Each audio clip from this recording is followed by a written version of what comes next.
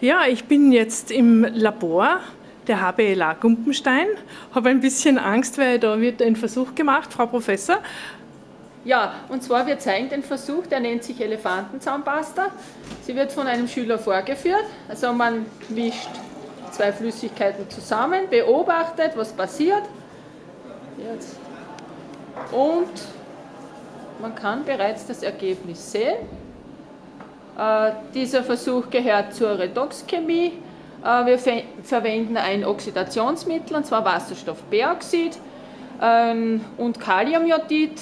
Was man da sieht, die braune Färbung, das ist jetzt das Jod, das äh, praktisch bei dem Versuch entsteht und die Schaumberge stammen vom Geschirrspülmittel.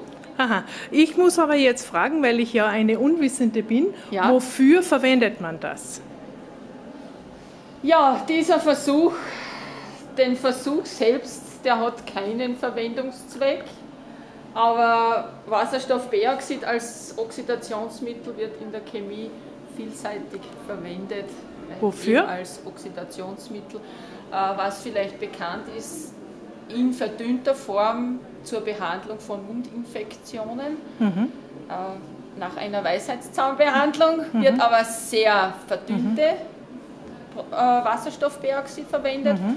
und in der Chemie eben als mhm. Oxidationsmittel, um jetzt zum Beispiel äh, Jod herzustellen, zumindest mhm. den Schülern die Redox-Chemie mhm. näher zu bringen. Sind Sie Chemieprofessorin? Ja, ich bin Chemieprofessorin. Mhm. Was ist Ihnen in Ihrer äh, Zeit, wo Sie hier äh, unterrichten, schon Schlimmes passiert? Ich kann mir vorstellen, dass da einiges passiert. Ja, Schlimmes kann man nicht sagen. Ich zeige gerne eben Showversuche. Diese finden allerdings unter strengen Schutzvorkehrungen, Schutzvorschriften vor, unter dem Abzug. Und ich zeige den Schülern gerne diesen Versuch, äh, und zwar Kaliumchlorat mit rotem Phosphor. Das ist eben ein sehr gefährlicher Versuch. Äh, vor Jahren ist da in Graz einmal ein Unfall passiert. Da haben mhm. Schüler, sehr experimentierfreudige Schüler, diese Mischung in einem Plastiksackerl herumgetragen und die ist dann leider explodiert.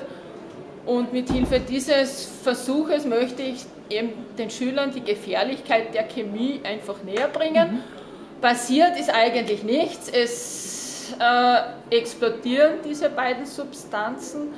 Nur wenn man sie schief anschaut, also mehr oder weniger.